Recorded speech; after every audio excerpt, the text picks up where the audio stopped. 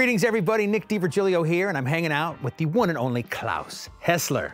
My pleasure. My man, I consider you to be one of the experts in the world of technique, how to hold the sticks, foot technique as well, but mainly hands here.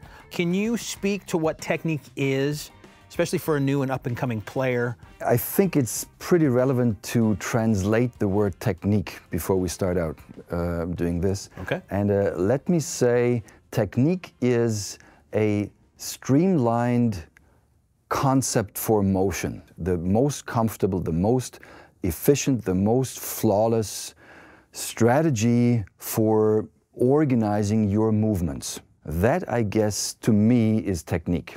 And when I say technique, I'm, I think it's important to not mix it up with coordination. So technique to me addresses all these finer thingies. What is it exactly that my hands and fingers and wrists are doing and what are the, the certain components of a, of a motion.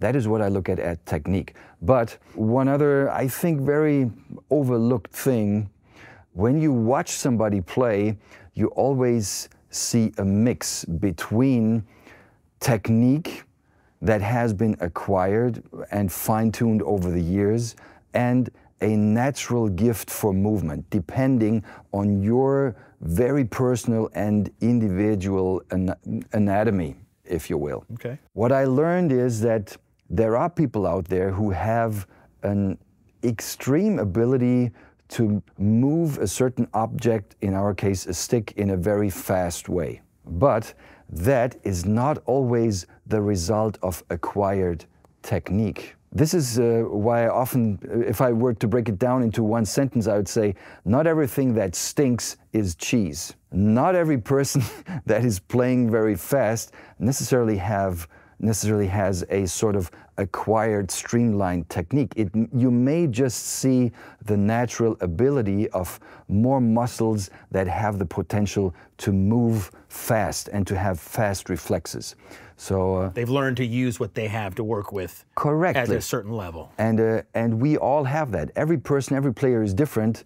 And uh, what you see again, I think, is always a mix between natural ability and uh, acquired, fine-tuned technique. And what we are speaking about today is exactly that. We are speaking about certain aspects of, okay, what are the options to hold a stick and uh, which are the positions that you usually look into and what are the, the different avenues that you can travel on when it comes to, uh, to playing this beautiful instrument. So where would you start if you had a new student coming in? This is how I hold this. Claus, teacher, this is how I hold my sticks. Would you start with how, exactly how they're holding them or, or kind of build on what they already have? I mean, building on what they have is always important because, uh, I mean, you, you need to go with what's there. You, you need to think with your brain. You need to work with your abilities, not with the abilities that you would like to have. You work with your tools. You work with what is there. Okay. And I'm the, the biggest fan of starting as simple as you can. So if somebody asks me uh, about a very general advice about how to hold the stick, what I often say is, throw the stick and catch it. You just throw it and catch it. And when you do that, what comes out oftentimes is something like that. No one catches a stick like so. No one does that. And how often are we taught, yeah, it's index, index finger and thumb, and that's your fulcrum. Honestly, I'm almost tired of that. but throwing a stick and catching it to some degree, and then just trying to see what that does for you automatically takes you towards that kind of little finger hold flesh grip, Moeller grip, if you will, that may work for a very large of, of your of your core business behind the drums. So that is something that I do. Another thing is um, and that's even before I move into things like free stroke and understanding all of these elaborate labelings and understanding how to tell Moeller from free stroke and, and anything in between. Understanding the importance of rebound by just having the stick in your fist. I'm going to give you an example. Please do. Which is um, super easy. So I'm, I'm really doing that. I, imagine I was imagine I was riding a bike and I'm not thinking towards aspects like angle, oh, it needs to be that much of an angle, or this is too. The angle is going to be slightly different for each of us. Okay. I hold this like I would hold a hammer. And, uh, and now, just imagine I'm doing this. What would you say am I doing? Playing a double stroke roll? Yes. And um, would you say my fingers are working for that? Doesn't look like your fingers are working, doing anything. Would you say my wrists are working? No, it looks like your forearms are doing all the work. The forearm is working and the stick is working. right. Okay, so which is quite an interesting thing because that double stroke roll wouldn't sound as bad as you would think. Especially when you say, okay, no fingers, no wrist, just arm. How is that? And in terms of grip, I'm doing anything wrong which there is to be made wrong if you were to look into schooled methodology of stick technique. Right. Is it? And there's even one interesting extension that we may want to try. so, what would you think is happening if I just let go of the stick or I release the tension in my hand a tiny little bit? What would you say is most likely to happen? Like the stick becomes freer in your hand. Very good. The stick becomes freer in my hand, right? I, will do it for you and, uh, and, and you'll see what it is, okay? So here's my double stroke roll. And now I'm going to, uh, uh, to loosen the, the, the, the tension in my hand a tiny little bit. And this is what happens. So now I'm playing what? Flams. Flams, hand-to-hand flams, right? And if I tighten my fist again, I get this. But what you notice is my motions still look kind of the same. So this and this, and still without following all these things like, okay, the fulcrum needs to be, and it should be, and, and still, I mean, if you were to close your eyes and, and look at the flams, not look at, but yeah, hear, hear them. Listen to the flams. Nice and even, right? So I would be totally curious how you deal with that. Okay. And imagine, imagine you you, you stick to some sort of a, a pulse, so you right. tap your foot and quarters, and you had, say, one measure of of where you do this, and then one measure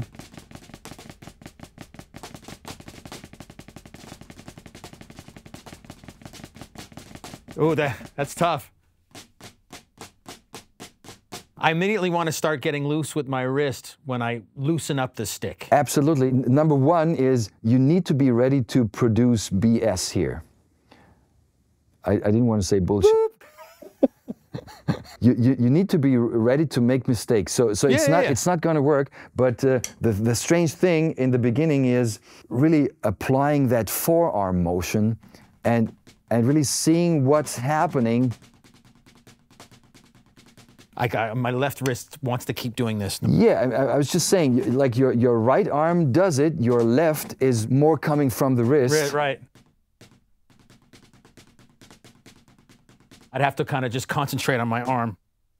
And, and you know what? Oftentimes, this is like some of the after, uh, some of the aftermath that comes from here, because as you're as you're trying to keep this baby not conflicting with that, oftentimes we have some sort of censorship in, in our motion brain mm. that tries to keep our left hand down and, and use less of our left arm. It's just That's a, that open-handed playing thing you're talking about right there. It is. It, it is. It keeps reappearing. Okay, your turn, my friend. Oh man, I don't, it's really. Yeah, and, and, but now I'm not doing it. Not I'm not doing it. I can tell I'm not doing it. Yeah. Yeah, right? I have to like, yeah, it seems like two totally separate things to and, me. And, and really, the, the only thing that I'm doing, and I, I'm not sure if the camera picks this up, but the only thing that I'm doing is I'm, if this is my position on the double stroke, right. this is my position on the flam. it's like this, it's, it's, this much. It's like yeah. the change from here to here. Yeah. That, that's all I do. Wow, okay. Well, I can't, it's hard to kind of just feel this motion. True. It's a very humbling thing. Even something Isn't as it? simple as this. Yeah. Why can't I do it? That's that's the first kind of probably obstacle I would have to get out of my brain. Yeah, and uh, and it. Um, I, I, was speaking about open-handed drumming in the in the first video already. There, there's a there's a full course on basic hand technique, which which offers like a wealth of exercises that go down this avenue in that style, which comes with more PDF stuff and elaborate exercise and all of that. But but that's kind of an interesting takeaway and a, an, a very overlooked thing, uh, and it, it all comes down to I think being aware of the amount of tension inside your hand is way more important than looking into different aspects of fulcrum. That's also important, but understanding that this works great, but this sucks because it's just too tight. This, the stick will not be able to react as much as if you were to hold it like that. But still, I mean, the points of contact in my hand are the very same, but as the hand is too tight, I'm killing the rebound. Sure. And rebound is like, that's like the holy grail of drumming. This sure. is that one source of energy you need to be in control of no matter what sort of technique you'd like to follow or to streamline. Because you want the stick to do some of the work for you, don't you? I mean, absolutely. The, the stick should work for you. And uh, my first really important mentor by the name of James Forbes Chapin, he used to say in, in, his, in his teachings, give the stick a wish of its own.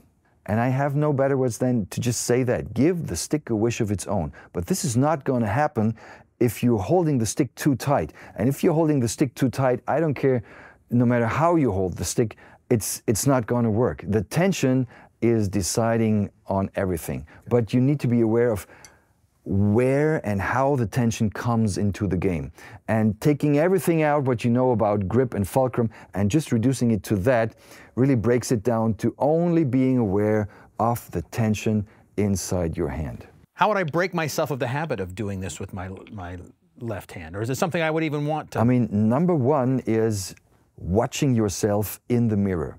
So practicing technique without a mirror is like learning to fly without a plane. I think it's not hap it's not happening because uh, when you sit in front of the mirror, you have the option of actually teaching yourself. And when you and when you really focus on certain points of your body and you compare your right side against your left side and vice versa, and you say, okay, what's my what's my right stick doing? Is, he, is it like bouncing back to here and your left is, on, is only going to here?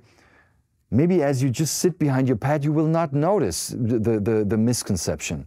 So um, watching yourself in the mirror and, uh, and trying to balance right and left, trying to balance the height of your shoulders, the position of your elbows, the way your stick bounces back the degree of how much forearm am I using right and how much forearm am I using left? How much wrist am I using right and left? What's the position of my hand right and left? And I'm trying to balance all of that.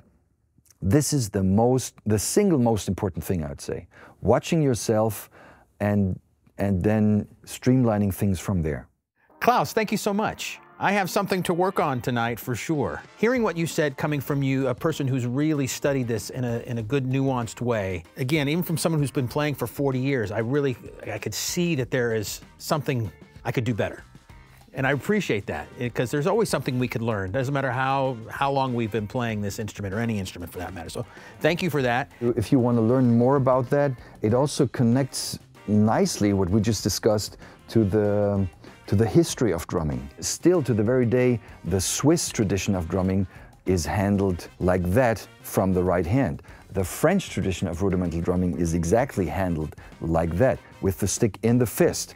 So uh, Moeller technique is not working without the use of your forearm. And this exercise also just nicely brought the arm activity into the game. So you may want to try I mean, stuff that, uh, that I put out in Daily Drum Set Workout, which has a couple of, of real cool hand training exercises. Also just like Camp Duty Update, which focuses more on the historic side of things, but still gives you musical examples of how this all leads down to, to the use of these elements in a rudimental setting. So this is where streams really come together. Beautiful. Well, thank you so much for being here and showing me this stuff and showing the folks out there your drumming. It's awesome. Thank you. It's my Thank pleasure. You, I enjoy it. Thanks for watching, everybody. We'll see you again next time. Yep. Bye.